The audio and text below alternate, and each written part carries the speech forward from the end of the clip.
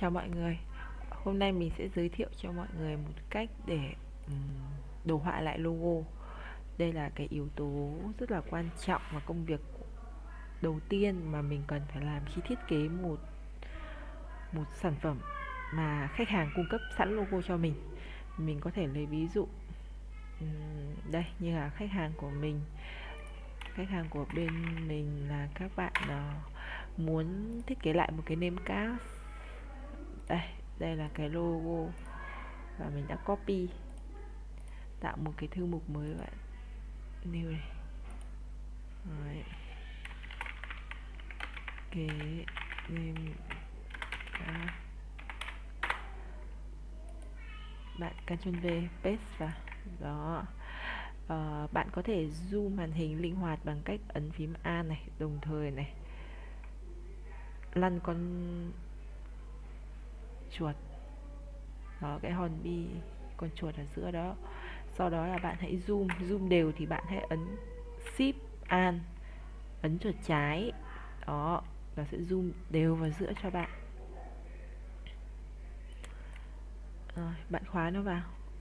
Có thể phím tắt là Ctrl 2 nhé đây, khóa đối tượng. Đó thì uh, ờ, nhiệm vụ của chúng ta là sẽ phải vẽ lại cái logo này. Đầu tiên là phải vẽ lại đúng không ạ? Chúng ta phải vẽ lại bằng cách dạng bằng cách sử dụng pens. Đó các bạn có thể zoom to lên và nhìn nó rất là bị vỡ nát tại vì khách hàng của chúng ta họ chỉ có thể chụp bằng điện thoại hoặc scan để gửi mẫu cho chúng ta. Nên là ừ, hạn chế về cái phần hình ảnh họ cũng không có được một cái logo uh, Ờ, từ file gốc đâu, mà chúng ta phải vẽ lại. Ví dụ như vậy. Thì các bạn hãy sử dụng công cụ pen, phím tắt của bạn, đó là chữ P. Ở đây pen thì có cái công cụ phụ của nó, đó chính là thêm nút này, dấu cộng này, trừ này, là xóa bớt các cái nút thừa đi. Hoặc là shift C là để convert cái điểm neo đấy. Đó bây giờ chúng ta sẽ làm như sau nhé chúng ta hãy sử dụng công cụ pen này. Ấn chuột trái, giữ vào cái ô nút pen này để nó sổ ra một cái cửa sổ có rất là nhiều các công cụ. Bạn ấn vào nút pen đầu tiên này. Đó, chọn một điểm đầu tiên, rất quan trọng nhé rồi, chọn điểm tiếp theo. Và di chuột. Đó. Sau đó đồng thời bạn vừa giữ chuột trái đó bạn ấn phím an để kéo cái điều hướng vector. Đến điểm tiếp theo.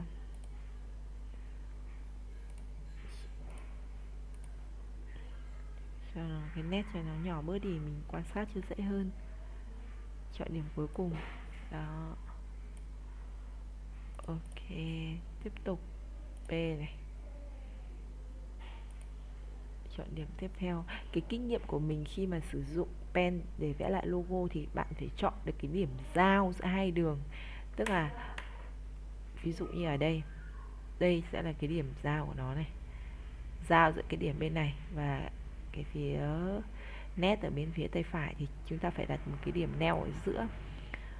Ok, rồi.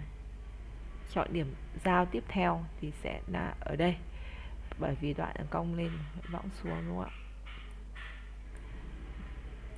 Ờ. Rồi tiếp tục ấn phím an đồng thời và kéo con trái chuột theo hướng ngược lại để mình vẽ một cái nét ngược lại. Rồi. Đó. Rồi ok.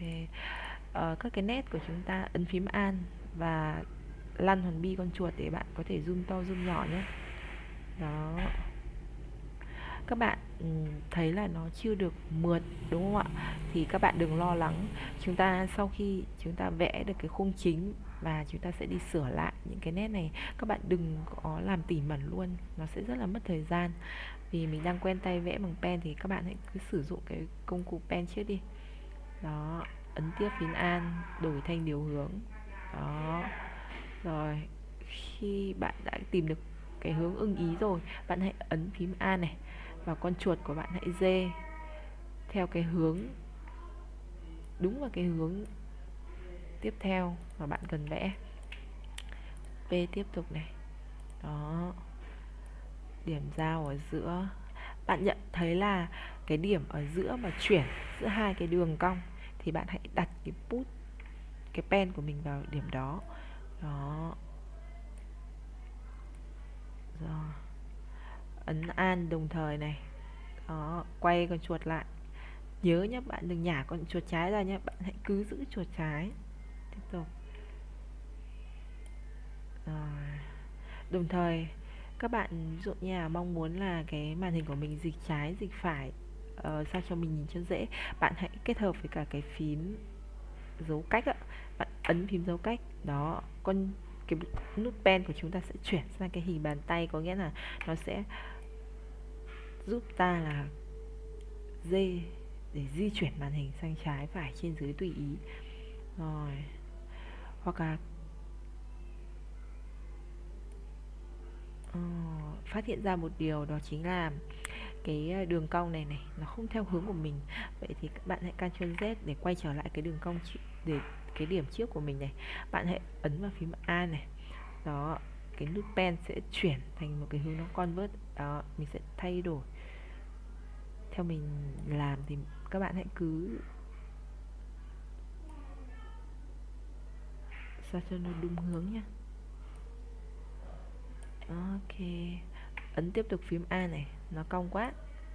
Thay đổi lại, kéo bớt lại. Ok cái này cũng phụ thuộc vào cái độ quen tay của mọi người. Mọi người có thể là vẽ nhanh hoặc vẽ chậm. Đó. Tiếp tục giữ A này. Ok rồi này. Ấn an tiếp tục này. Di cái chuột trái về cái hướng mà chúng ta đang vẽ nhá.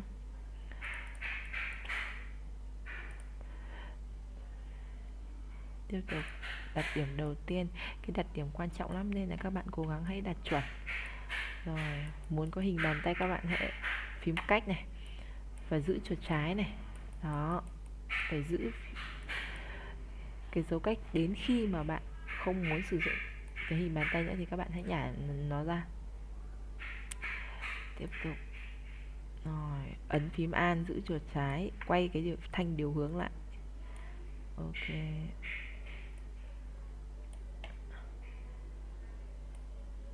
Đó. Ờ. đó, các bạn hãy ấn phím an và lăn cái hòn bi tiến lên phía trước là nó sẽ zoom to và lùi lại, nó sẽ là zoom nhỏ. Các bạn nhìn thấy này. Đó. Ấn tiếp phím an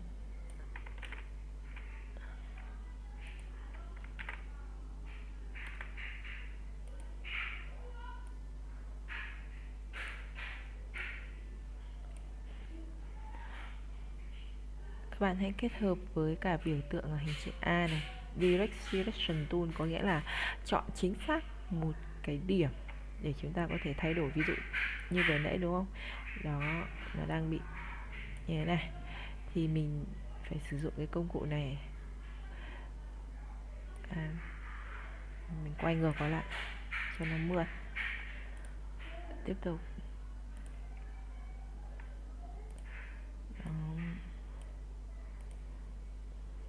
Các bạn hãy cứ vẽ nhé đừng đừng ngại xấu. Các bạn cứ vẽ đi rồi chúng ta chỉnh được hết đó. Thoát ra, ấn dấu cách trắng, giữ dấu cách. Rồi, ấn chuột trái để di màn hình. Kéo cái vị trí mà mình đang muốn vẽ lại gần cái khu vực mà mắt chúng ta nhìn thấy. Tiếp tục sử dụng công cụ pen này. Đó. Tiếp tục vẽ.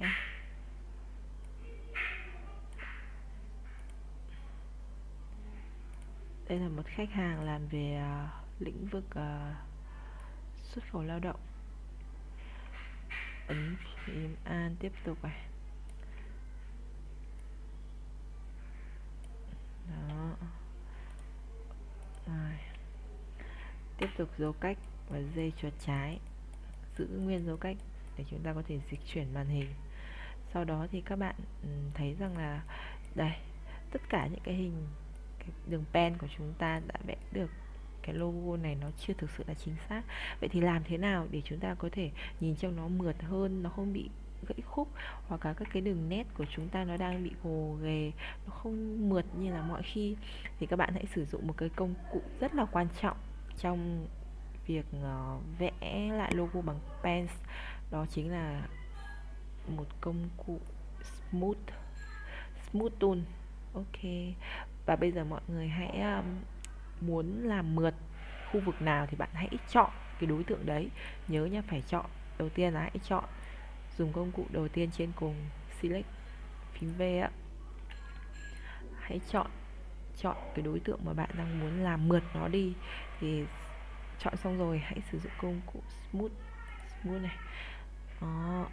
Bạn hãy ấn chuột trái này. Ấn chuột trái. Rồi kéo.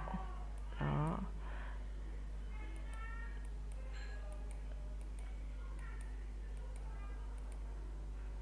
Tiếp tục.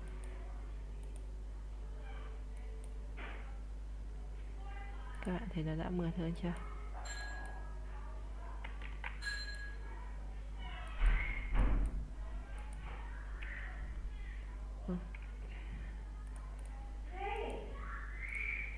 đây mình chọn tiếp công cụ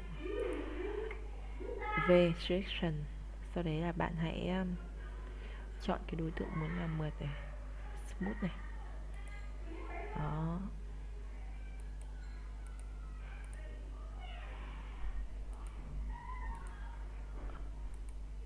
Phía đuôi có rất là nhiều các cái điểm mình chưa cảm thấy ưng ý và cái nét nó không ổn, thì bạn có thể vào cái ờ, công cụ thứ hai từ trên xuống, đó chính là công cụ chọn chính xác cái điểm của mình. Đó, bạn nhìn, khi bạn muốn thay đổi cái vector điều hướng thì bạn hãy lấy chuột trái này, có biểu tượng ờ, số 2 rồi bạn hãy nhấn vào cái điểm neo đấy. Đó, bạn cầm cái thanh cái vector điều hướng này, mình xin lỗi, cái vector điều hướng bạn có thể kéo sao cho nhìn nó hợp ý của mình hơn. Đó, bạn muốn kéo điểm nào bạn hãy chọn vào cái điểm đó, đúng không ạ? Các bạn hãy chọn vào điểm đó.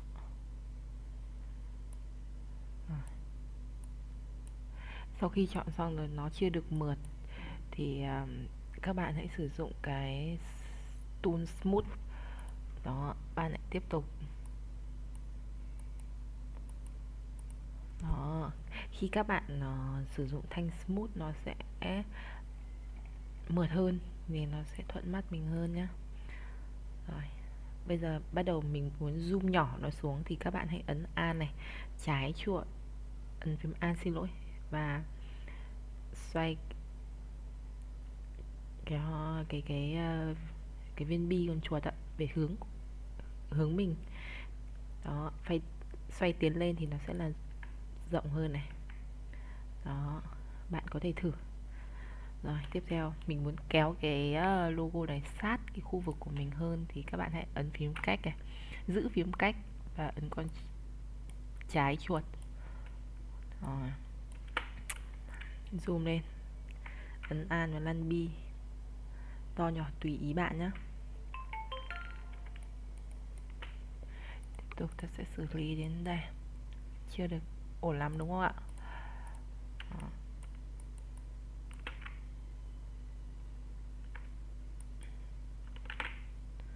Nên phải cong hơn một chút. Các bạn lại vào công cụ A Direct Tool. Các bạn à, sử dụng một vài lần là sẽ quen với cả công cụ zoom to zoom nhỏ rất là thuận lợi trong công việc của các bạn đấy. Bạn có thể nhìn theo đúng cái tầm nhìn của mình nó sẽ dễ hơn tiếp tục. A này lăn bi. Bạn cứ thao tác thật nhiều và nó nó sẽ quen.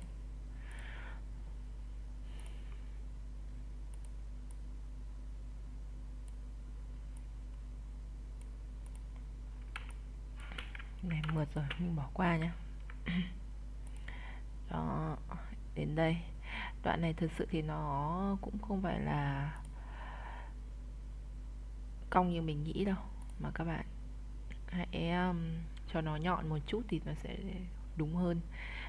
Vậy thì khi mà bạn muốn điều chỉnh cái điểm này thì bạn hãy sử dụng công cụ A này. Ấn phím A này. Đó cái mũi tên cộng ạ. Bạn sẽ nắn cái đường nét đấy về đúng như yêu cầu của bạn đó.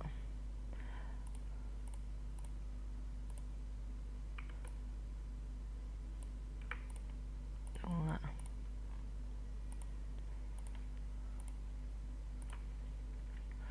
hát nha hình bàn tay là hand á. Ok, an này lan con bi chuột, cho nhỏ xuống. V nhé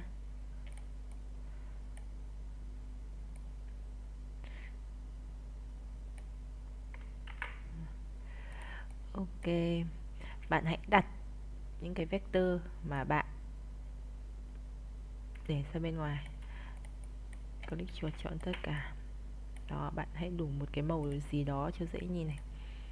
Các bạn hãy sử dụng chọn bằng công cụ, đó chính là i drop, nghĩa là nó sẽ lấy một cái điểm màu giống với cái màu mà bạn mong muốn. Mình chọn tất cả này, sau sử dụng i phím tắt là phím y đó. Bạn hãy chỉ xuất hiện một cái bút chỉ màu. Bạn hãy chỉ vào cái màu mà bạn mong muốn. Tại vì cái ảnh của mình á, do độ sáng tối khác nhau, thế nên là khi bạn nhấn vào các điểm ảnh thì nó sẽ ra những cái màu khác nhau. Các bạn đừng thấy lạ, tại vì thực ra khi mình scan là nó hay bị cái hiện tượng là như thế, nhưng không sao. Đó. ở đây chúng ta có hai cái màu, đó chính là màu xanh nõn chuối với cả màu cái màu xanh dương đậm này. Đó, chúng ta sẽ chọn bằng cái công cụ là select này đây ạ. Chọn đối tượng thứ nhất ấn ship. Chọn đối tượng thứ hai ship. Đối tượng thứ ba các bạn hãy cứ giữ phím ship giúp mình. Đó và chọn đến cái đối tượng cuối cùng. Ở đây của bạn là một màu xanh nõn chuối. Ở trong cái um, phần công cụ ạ các bạn có thể lấy uh, lấy cái cái um, cái tool của mình á đó đây là các cái công cụ của mình ở trong cái phần watch này nó có các cái dãy màu tương xứng. Bạn nhìn ở trên các cái bảng màu của mình nó sẽ có sẵn những cái màu ví dụ như là màu xanh nõn chuối chẳng hạn. À, xanh quá đúng không ạ? Xanh vừa phải đúng không ạ? Ok này. Nhưng mà các bạn có thấy một cái điểm đó chính là ừ, tiếp tục là chúng ta sẽ chọn đến cái mảng màu của cái màu xanh dương đậm nhá. Cũng ở trong cái bảng màu này các bạn hãy nhìn nó sẽ có nhiều cái cường độ màu khác nhau. Các bạn có thể chọn ở đây, chọn màu sẵn á. Các bạn để con trái chuột vào vị trí các ô màu, nó sẽ hiển thị ra các cái thông số màu. Khi bạn mới thì bạn sẽ chưa hiểu hết về cái ý nghĩa của cái tỷ lệ pha trộn. Thế nhưng khi các bạn đã làm quen rồi ạ thì các bạn có thể tự mình thiết lập các cái thông số mà để cho ra cái bản màu in chuẩn với cả cái ý của mình. Mình để tạm một màu nhá. Đây cái mã màu xanh này hiện tại bạn muốn xem cái thông số màu và chỉnh cái thông số màu thì các bạn hãy vào uh, color. Đó các bạn hãy nhìn này. C là màu xanh này, Y màu đỏ. À xin lỗi C là màu xanh này M là màu đỏ. Y vàng K là màu đen vì sao lại không chọn ừ, cái màu đen là màu black của chữ B? Tại vì là ở cái hệ màu RGB thì cái black đã là màu đen rồi. Nên là khi mà cái hệ màu IK người ta phải đặt khác đi thì người ta phải chọn một cái tên khác thì theo mình hiểu nó là như vậy. Đó đây là cái màu xanh và mình muốn cái màu xanh nó phải xanh đậm như thế này. Thì các bạn um, có thể là thay đổi tùy ý. Các bạn có thể điền trực tiếp ở đây là C có thể là màu trăm này um, sau đó là ấn tab để nó nhảy sang cái ô M là màu đỏ tiếp theo. Màu đỏ bạn có thể cho 65 hoặc là 70 70 ok. Nó đã đậm hơn rồi đúng không ạ? Nhưng mà cái màu của mình ạ trên màn hình và cái màu scan của họ thực sự là không thể giống nhau được. Vì khi mà mình in ra sẽ gặp cái hiện tượng là hai cái màu nó khác nhau vậy thì um, mình ở đây mình sẽ đảm bảo về cái phần nhìn sao cho giống cái màu hiện tại nhất nhé còn để chuẩn sang cái hệ màu in ấy, có nghĩa là cái hệ màu mà in ra cái màu sắc giống y hệt cái màu của logo ấy thì bài khác mình sẽ hướng dẫn. Nhưng mà ở đây thì các bạn có thể lấy con chọn. Đó chọn vào đây. Các bạn sẽ nhìn thấy là hai cái màu này nó gần là tương đối nhau nhưng mà thực ra không phải nó khác nhau hoàn toàn đấy ạ. Thì các bạn nhìn này các bạn có thể điều chỉnh trên cái các cái thanh trượt màu. Các cái thanh trượt màu này nó sẽ giúp cho bạn nhìn trực quan hơn. Ví dụ như là, đây.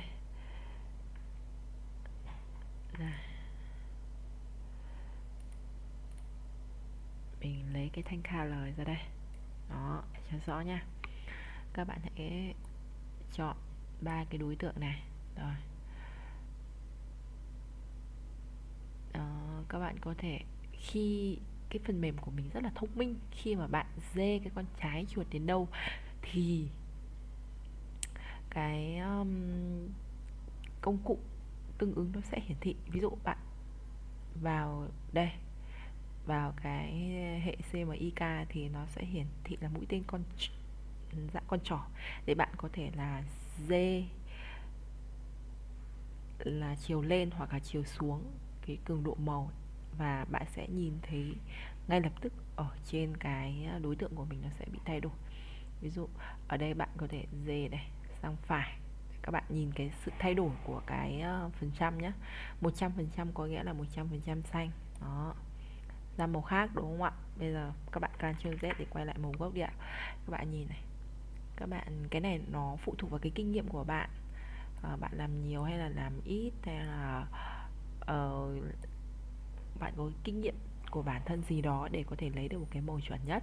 Thì ở đây nhé thì các bạn có thể uh, thay đổi tất cả các cái thông số này uh, miễn sao cho nó chính xác với cả cái màu mà khách hàng người ta mong muốn. Tiếp tục là sang đến đây. Đây là bạn có thể chọn bằng các cái điểm màu. Đây đúng không ạ? Hãy chọn vào một cái khu vực mà bạn cảm thấy giống những cái màu mà bạn đang cần nhất. Đây mình có thể nói là cái này nó giống như là mỏ kim đáy bể. Tại vì chỉ ra mỗi một cái màu nó sẽ là hiện lên một cái khác nhau. Đó, mình nghĩ cái này là cũng không biết phía của các bạn nhìn thấy như thế nào, nhưng mình thấy cái này là khá là ổn. Cái này hơi bị đỏ quá này, mình có thể bớt đỏ. Đó. Tại vì à, cái màu ở trên màn hình của mình là cái hệ màu nhìn nó khác so với cả cái màu mà khách hàng gửi cho mình ở đây là trên, in trên giấy rồi, lại scan lại một lần nữa. Nên là cái độ chính xác nó không được cao thì mình sẽ chỉ hướng dẫn các bạn đến đây thôi. Để cho các bạn biết được rằng là khi mà mình vẽ lại một cái logo thì phải làm như thế nào để có thể là vẽ được cái đường nét chính xác, mượt mà và lấy được cái màu à, gần chuẩn nhất có thể ok chị ạ. Mình sẽ cất nó vào chỗ cũ. Đó. Bây giờ mình uh, xin tổng kết lại những công cụ sử dụng trong quá trình mình vẽ lại logo để thiết kế cái name card này nhá. Đó. Đó chính là gì? Đầu tiên là phải công cụ chọn đối tượng này. Đó. Công cụ thứ hai đó chính là chỉnh sửa các điểm neo để các cái đường ờ, đường uốn lượn của mình theo đúng cái ý của mình. Thứ ba đó chính là công cụ pens, là công cụ chính để chúng ta thiết kế. Chúng ta vẽ các cái đường pass sao cho nó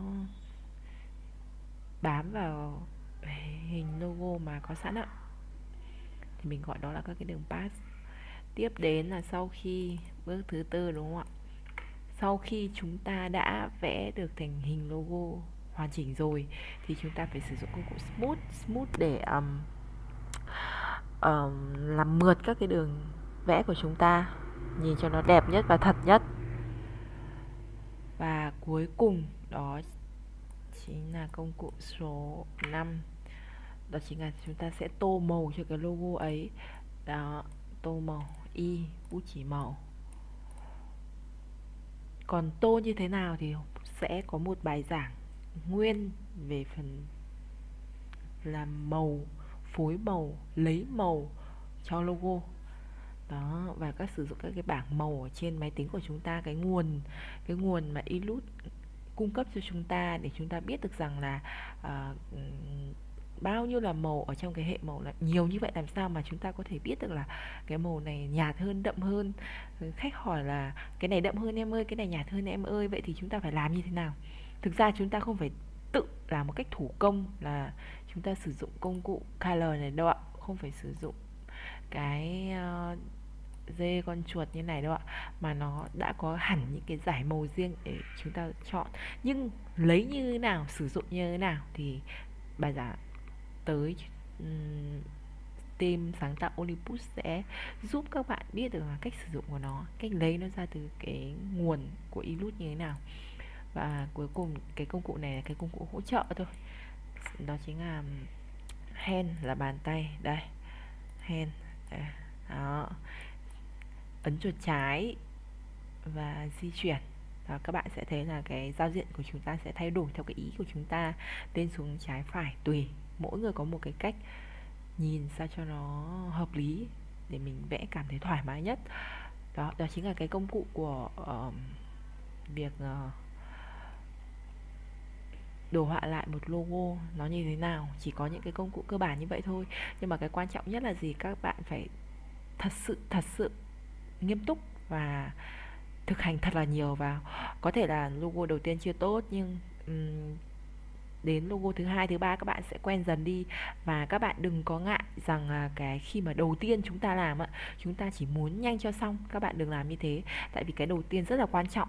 Nếu đầu tiên các bạn đã làm chuẩn, đã chịu khó làm đúng theo các bước, thì những cái logo sau các bạn vẽ cảm thấy sẽ rất là trôi chảy và không thấy ngại. Nhưng nếu những bạn nào mà lúc nào cũng vội và nhanh á. Các bạn cứ bỏ qua giai đoạn thì các bạn lại phải học lại từ đầu. Vì lúc đấy các bạn lại phải đi tìm các cái công cụ mới nó rất là mất thời gian và thực sự là mất cái công mình học. Mình đã học rồi thì các bạn hãy học một cách nghiêm túc và áp dụng nghiêm túc. Đó. Thì ừ, theo mình thì um, tất cả đây bài giảng của chúng ta chỉ quanh có mỗi một công cụ pens thôi. Đó. Đây là cả phim bây giờ chuyển về dạng viền đó. Viền này, đậm nhạt, bạn có thể vào đây. Đó, shock. Đó, kích thước tùy ý. To hơn một chút, bé hơn một chút, tùy nhá. Đây, an này. Sau đấy là dịch chuyển. Đó. Ví dụ như thế chẳng hạn. Đúng không? Muốn chỉnh sửa các cái điểm neo, hãy vào công cụ A Direction pad này. Đó, các bạn hãy dịch chuyển. Đúng nghĩa thì thôi.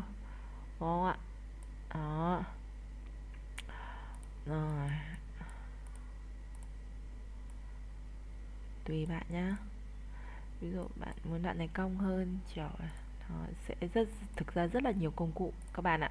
Các bạn hãy cố gắng tìm hiểu để sao cho mình có thể là có những cái à, và đó chính là những công cụ mà mình sử dụng trong cái bài này.